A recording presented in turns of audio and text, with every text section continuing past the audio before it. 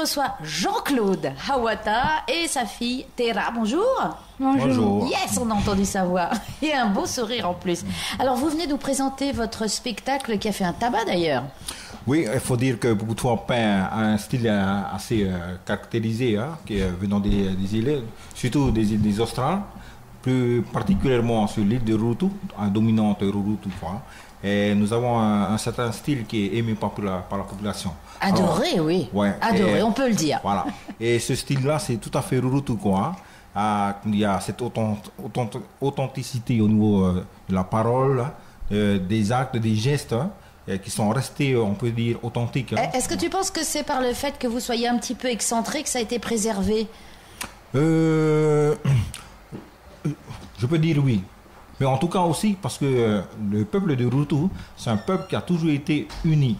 Et que ce soit à l'extérieur ou bien, hein, ou bien sur l'île. C'est vrai hein. qu'ici à Papeete, il y a les quartiers Rurutu. Tout à fait. euh, voilà, tout à hein. fait. C'est pour ça qu'il y a eu des quartiers ici. Parce qu'autant de Rutu, il y avait. Il ne faut pas, faut pas oublier qu'on avait des rois en ce temps-là. hein.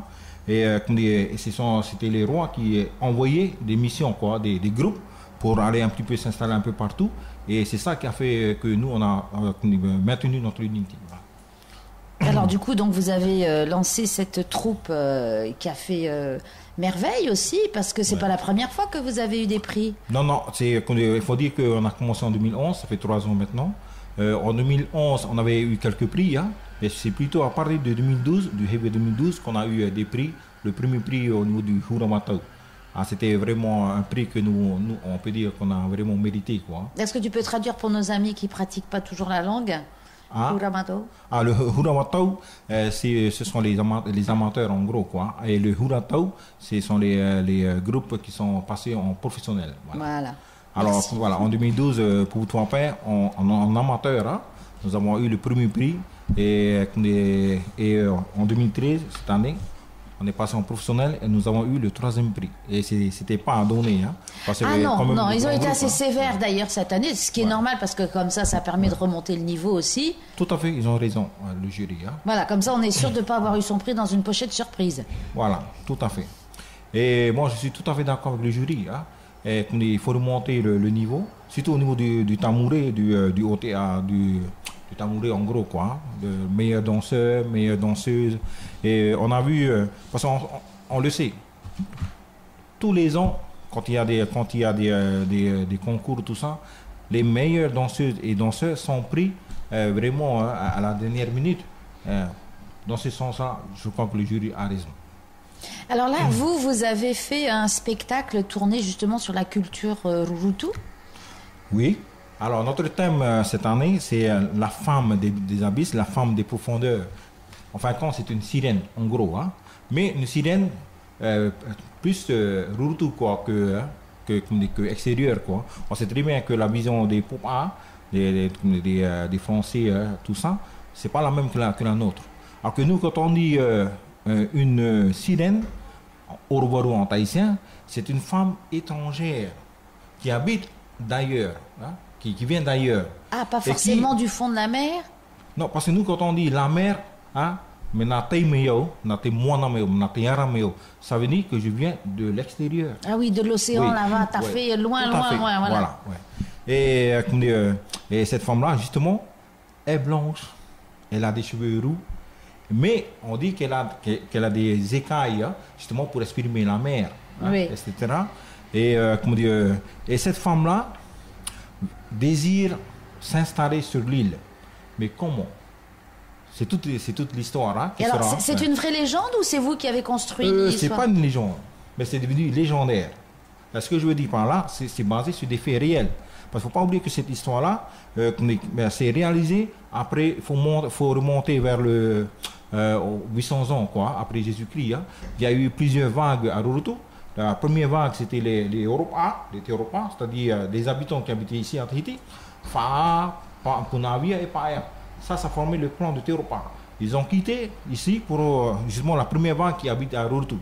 Il y a eu une deuxième vague des Atia Eri et la troisième vague des Atia Ura, c'est-à-dire des gens venus, entre guillemets, hein, ça c'est approuvé, de, de l'Amérique du Sud. Voilà. Et l'histoire que- qu'on est, qu'on a développée cette année, c'est-à-dire la femme sirène, hein, la femme des abysses, euh, C'est euh, c'est une histoire qui se passe bien après ces trois vagues-là. Il faut monter vers, vers, euh, euh, moi je dirais dans, dans les années euh, 1500, quoi. hein. Voilà. Donc avant, pré-européen, Voilà, bien pré-européen, sûr. Voilà. Et, Et- et donc cette femme, elle est arrivée dans ne sait où. Voilà, on ne sait pas d'où. Ouais, voilà, on garde le côté mystérieux. Et euh, comme dit, mais ce qui est bien, c'est qu'à la fin, on a, on a, on a un- une fin qui, qui est bien. Pourquoi? Parce que cette femme-là, ayant, ayant été démunie de tout, hein, hein, va vouloir s'installer sur l'île. Mais comment? Justement, elle va tout d'abord piquer les tarots, voler des tarots. Oh, ça, c'est pas très bien, mais elle avait faim. Oui, oui, Ah bah, on peut dire ça. Voilà. Mais, mais tout ça, c'est symbolique. Il ne faut pas oublier que dans la, dans la tradition polynésienne, le tarot symbolise les- le pied de l'homme, dans la création de l'homme. hein. Euh, le tarot symbolise les pieds. Ça veut dire quoi? Il ne faut pas oublier qu'au temps des rois, euh, les rois étaient portés. Ils ne pouvaient pas marcher sur la terre. Ah oui, hein. parce que Ouais. sinon la terre leur La terre appartenait. leur appartenir. Et d'où cette symbolique de- du tarot. hein. Alors, cette femme-là désire le tarot justement pour prouver, dans cette histoire-là, elle veut s'installer sur Et l'île. prendre pied. Voilà, prendre pied. Et c'est pour cela que cette femme-là ne va pas manger n'importe quel ma, hein, n'importe quelle nourriture. C'est Ça va être toujours très symbolique. Et justement, c'est symbolique. hein. Alors, cette femme-là ayant été découverte par des, par des gens de, de la population de, de Rurutu, alors le roi, on avertit le roi et le roi fait en sorte de capturer la femme. hein. Enfin, la, enfin, la personne, on ne sait pas encore que c'est une femme. C'est après qu'on va découvrir que c'est une femme. Il ne faut pas oublier aussi dans l'histoire, c'était les femmes qui s'occupaient des tarots. C'est pour ça qu'ils n'ont Ah, pas. c'est pour ça, oui. Voilà, c'est pour cela.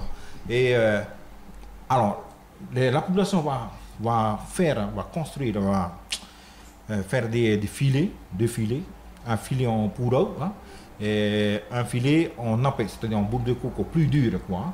Ça, c'est pour mettre dans la mer, hein, comme ça, on peut, on peut attra- attraper cette, euh, cette femme. Ah oui, euh, parce qu'elle sortait de l'eau, elle venait piquer les tarots, et bien hop. Voilà, et retourner par son trou. Hein. oui, c'est ma grand-mère. Tout à fait. Voilà. Ah, par son Non, trou qui se, qui, se, qui se trouvait justement vers Waio et hein, c'est une région de Rurutu. Voilà. Alors, il fallait rattraper, mais si jamais elle s'échappait, on pouvait. hein, un filet était déjà placé dans l'eau. hein. la euh, ruse. Voilà. Et on sait très bien que la boucle de coco, plus elle est mise dans l'eau, plus elle est dure. Voilà. Et la femme est, attrapée et on découvre que c'est une Orwaru, une sirène. Alors, comment dire Alors, le roi, qu'est-ce qu'il dit alors à la population? Voilà, maintenant qu'on connaît, elle est sauvage, hein, elle ne se laisse pas faire. hein. Et c'est pour ça que je, je, remercie euh, beaucoup la personne qui a joué ce personnage, c'est Apaura, euh, Walker, qui est une fille extraordinaire, quoi, hein, très belle aussi, qui a joué le rôle. Elle a bien joué son rôle. D'ailleurs, c'est c'est à travers elle qu'on a eu euh, le premier prix, c'est-à-dire le, le prix du cœur du jury. Oui, tellement elle a bien joué, on, on en- Voilà. euh, non Voilà. seulement elle a dansé, mais elle a investi le personnage. Ouais, il faut pas oublier qu'elle est sportive, hein, elle connaît tout ça. Alors, elle est, elle est attrapée, on l'emprisonne, hein, on lave tous ces, euh, tous ces écailles, tout ça, on l'emprisonne. Alors, les femmes du village vont s'occuper d'elle, parce qu'elle ne veut pas que des hommes s'approchent d'elle, elle tel- tellement sauvage. Et euh, à Rurutu, la prison était constituée justement par un cocotier qui était coupé en deux. hein. On plaçait les, jambes- les pieds là-dedans, elle était comme un carton, quoi. hein. Toum, voilà. Quelle horreur Voilà. Elle, peut, elle peut bouger comme ça, mais elle peut pas se Ah déplacer. on peut pas se déplacer avec un cocotier au pied. Tout à fait. Ça, c'est sûr. Voilà. C'est- pas facile. Voilà, tout à fait. Alors la femme, euh, avant qu'elle arrive à Rotum, était déjà enceinte. De Son Ah. mari qui était ailleurs. Voilà. Mais on sait pas qui était son mari. Voilà. Non, on ne sait pas. Bon, on sait pas. on sait qu'ils pas, habitent on dans sait les pas, on saura pas. 62, tout Mais bon, voilà, on faut garder Voilà. le mystère. hein. Alors, euh, sachant qu'elle va enfanter, alors la femme va, va demander au roi, ah, non, elle pleure. Alors le roi lui demande, mais pourquoi tu pleures comme ça? Ben, Elle dit, ben, justement, je vais bientôt avoir hein, enfanté, quoi. Et il faut me relâcher. hein. Il faut que je, je parte chez moi et je vais mourir. Et, euh, et son père doit prendre l'enfant. Et c'est là que la femme raconte comment comment c'était chez eux. Hein, euh, par rapport à c'est- les Rutu étaient plus avancés hein, au niveau de la civilisation par rapport à eux. Et justement, au niveau de l'enfantement, chez eux, hein, il fallait couper le ventre, quoi. et euh, césarienne, quoi, et prendre l'enfant. Et elle mourait. Voilà. Alors le roi de Rutu lui dit, mais t'as pas, pas à craindre, parce que chez, chez nous, on fait pas comme ça. Non seulement tu peux avoir ton enfant, mais toi-même aussi, tu vas vivre. Nous savons comment accoucher les femmes. Alors cette nouvelle-là, la, la, la sirène est très très contente, elle n'a jamais entendu ça. C'était une nouvelle pour, pour elle. Elle était, s'est apaisée quoi. Euh, Elle, elle a donné sa confiance aux habitants de Rurutu. Mais ça ressemble un peu aux légendes des, des Mokorea aussi. Où, euh, Euh, ces j'ai femmes, appris, a- j'ai appris que mais c'était euh, à Otuamutu, ça s'appelait un, mot- un Oui. coréen, quoi. hein.